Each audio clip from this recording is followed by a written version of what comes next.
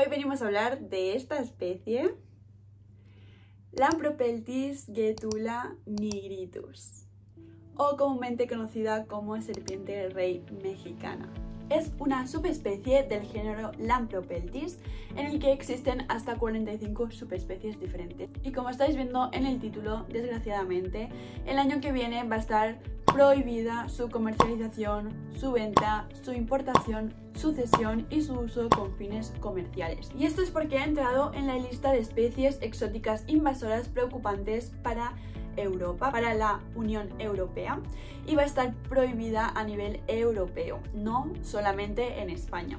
Así que si estáis pensando en adquirir uno de estos ejemplares, os aconsejo que veáis el vídeo y vayáis a por él cuanto antes, porque como os digo, a partir del año que viene, 2023, ya no podréis haceros con ningún ejemplar legalmente.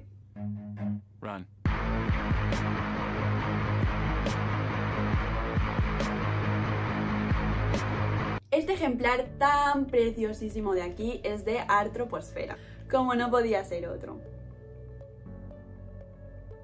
En este caso en particular es una hembra porque cuando me decidí a comprarla les quedaban súper poquitos ejemplares y este es el que, el que quedaba y era una hembra. Y os podéis creer que aún no tiene nombre. No sé qué nombre ponerle. Esta serpiente, como podéis ver, destaca por su coloración absolutamente negra. Es precioso el color negro que tienen, súper brillante en este ejemplar en particular. Pero sí que es verdad, pueden tener, pueden llegar a tener algunas manchitas blancas por su cuerpo, por la zona ventral, por la zona debajo de la mandíbula y también por la zona de la cloaca. Este ejemplar en concreto tiene dos manchitas blancas súper monas debajo de la barbilla. Si hablamos del carácter de esta especie, como veis, si son nacidas en cautividad, son animales muy dóciles, muy mansos. Como todas las serpientes y todos los reptiles en general, hay que acostumbrarlos desde pequeños al manejo, ¿vale? Cogerlos habitualmente para que a medida que ellos crecen se familiaricen con nosotros y se dejen manipular y estar tranquilas mientras los cogemos. Es que está mona. Me encanta lo bonita que es. Son serpientes activas que buscarán activamente comida por todo el terrario y dependiendo de la temperatura que haya y de la estación del año, pues serán más activas por el día o por la noche. Son muy glotonas también, bastante glotonas. Es habitual en las Lampropeltis, sobre todo si son animales babies, animales jóvenes, animales que no están acostumbrados al manejo, que se defequen encima si se estresan. Y también la postura de defensa que adoptan ante una amenaza es enroscarse y mover la cola como señal de advertencia. Esta especie es originaria del sur de Arizona, el oeste de Sonora y el norte-oeste de Sinaloa, México. Viven en hábitats bastante secos, con mucha roca, con muchas rocas y piedras y plantas que solo se encuentran en esas zonas concretas. Zonas desérticas, bastante parecidas a la Heterodon nasicus de la que hablé en un vídeo anterior que os lo dejo por aquí. Y son especies terrestres. Esto significa que no son habituales trepadoras, no les gusta escalar, pero sí que es verdad que utilizarán alturas como por ejemplo rocas o troncos para tomar el sol. También como la Heterodon, harán agujeros en el sustrato para esconderse durante la noche. ¡Uh! Se suicida. Esta escamosa tiene una esperanza de vida de 15 años, pero hay ejemplares que llegan hasta los 20 y también se han visto casos que llegan hasta los 30 años. Así que si estamos pensando en adquirir una Lampropeltis, pensadlo bien porque son animales bastante longevos. Ahora mismo, como veis, es súper pequeñita. Es nacida de agosto. Por lo tanto tendrá unos 4 meses y medio, casi 5 meses. Pero estas serpientes pueden llegar a alcanzar hasta los 90, 1,20 metro 20 y se han visto ejemplares de metro 50. Tengo que decir que es una subespecie más pequeña que otras Lampropeltis que hay y las hembras son un poquito ligeramente más grandes que los machos. Y ahora hablemos sobre cómo mantenemos a esta especie en cautividad. Como todas las serpientes que mantengo actualmente, ahora mismo lo tengo en, una, box de plástico, en un terrario de plástico, porque es una serpiente pequeñita. Y como comenté ya en mi otro vídeo, las serpientes de tamaño pequeño es mejor mantenerlas en recipientes pequeños para controlar el estrés y para controlar que coman adecuadamente. Os enseño cómo la mantengo yo actualmente, ¿vale? El terrario de plástico Este terrario lo compré en Artroposfera porque venden unos kits, unos kits muy guays para principiantes en los cuales pues te viene todo lo necesario, ¿vale? A mí me vino el Fauna Box, que se llama así, el extra grande. Me vino también este corcho cueva, el bebedero, el sustrato y el termómetro. Y unas pinzas también para darles la comida. Este termómetro no me acaba de convencer porque no es muy visual, ¿vale? Respecto a los otros que tengo con sonda de temperatura y demás. Así que le voy a comprar otro. Pero para que veáis cómo está ahora mismo, tengo el bol de agua sucio porque de llevarlo hasta aquí se ha movido y se ha ensuciado. Si os fijáis en el sustrato, a ver si puedo enfocarlo. Bueno, voy a mover esto. Ahora mismo no sé dónde está, creo que se ha asustado de, del movimiento. Está ahí.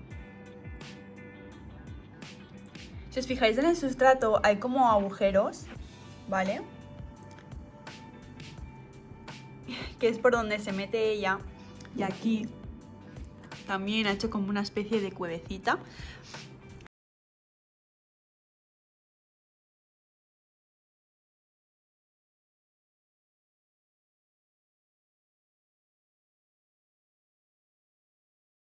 Y ya no hay serpiente.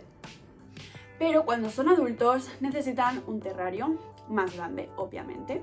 Dependiendo de la fuente donde consultemos, podemos encontrar que nos recomiendan terrarios de 80 x 40 x 40. Otras fuentes nos recomiendan el metro por 45 x 45 pero yo creo que son especies bastante grandes, son especies que son activas, así que un terrario de metro 20 por 45 por 45 como mínimo sería lo ideal. Cuando hablamos de la temperatura, como sabéis, todos los reptiles necesitan un punto más frío y un punto más caliente. En este caso, la temperatura que debe haber en la zona caliente varía de entre los 28 y 29 grados y en la zona fría tendríamos unos 22, 24, 26 grados llegando por la noche hasta los 20 grados. Si la temperatura del terrario o de la zona donde se encuentre baja de 18 grados, podemos provocar que entren en brumación. La brumación es una especie de invernación un poco más ligera. Es un estado en el que el animal pues ralentiza el metabolismo, ralentiza la actividad, ralentiza la ingesta de comida, ¿vale? Es decir, dejan de comer dejan de moverse porque hace más frío de lo habitual. Entonces esto es algo a tener en cuenta si somos primerizos porque queremos evitarlo. Otra cosa importante es el tema de la luz. El ultravioleta UVB, como ya sabemos, no hace falta en serpientes porque se alimentan de presas enteras y por lo tanto ya obtienen todo el calcio y la vitamina D3 que necesitan, así que no hace falta este aporte extra, pero nunca está de más ofrecérselo si tenemos la posibilidad.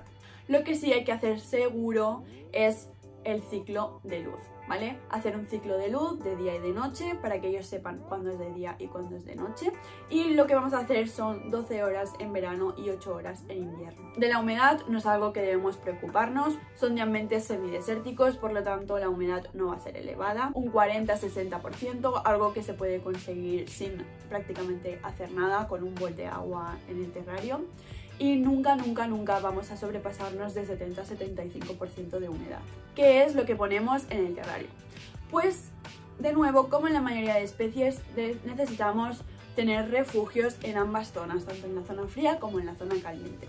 Para este tipo de especies terrestres podemos utilizar corchos, em, cascadas de coco, cuevas artificiales, rocas, todo tipo de decoración. Podemos utilizar también ramas o troncos tumbados con cierta altura, pero no mucha porque ya sabéis que ellas no, no son ágiles escaladoras. Y luego para el sustrato utilizamos lo que siempre os recomiendo que es aspen o astilla de haya. Y si queremos sustratos más bioactivos podemos utilizar arenas, arcillas, tierras, piedras y corteza de árbol. Son serpientes que como ya he dicho pues les gusta excavar y les gusta hacer túneles en el sustrato y meterse entre ellos, así que si podemos poner una buena capa de sustrato mucho mejor. Y una vez tenemos montado el terrario, ¿Qué alimentación le doy? Son serpientes, así que por supuesto son carnívoras. En la naturaleza se alimentan de ranas, de sapos, de lagartos, de mamíferos, de aves, de huevos, todo tipo de animales y también de serpientes. Son ofiófagas. Esto significa que se alimentan de serpientes de su propia especie y es por esto que son bastante famosillas, porque las Lampropeltis, sobre todo la Lampropeltis getula californiae, se alimenta de serpientes como la serpiente cascabel, que es una serpiente venenosa y que vive en su mismo hábitat. El veneno de esta serpiente sí que les afecta, no es real que sean inmunes, pero es verdad que les afecta mucho menos, son bastante tolerantes al veneno y es por esto que se las pueden comer.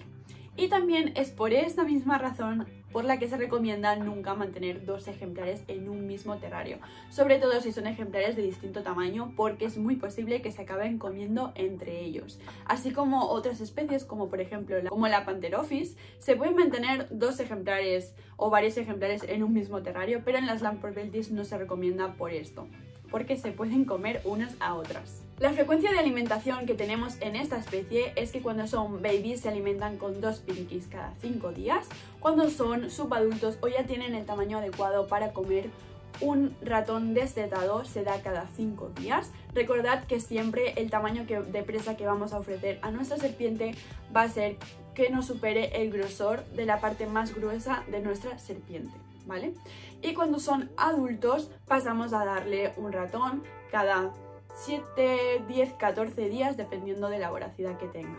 Y hasta aquí los cuidados de la Lampropeltis getula nigritus. Recordad que de Lampropeltis existen un montón de variedades, un montón de subespecies de coloraciones súper distintas, así que si estáis interesadas en este género, buscadlo porque no tienen unos cuidados muy diferentes entre sí.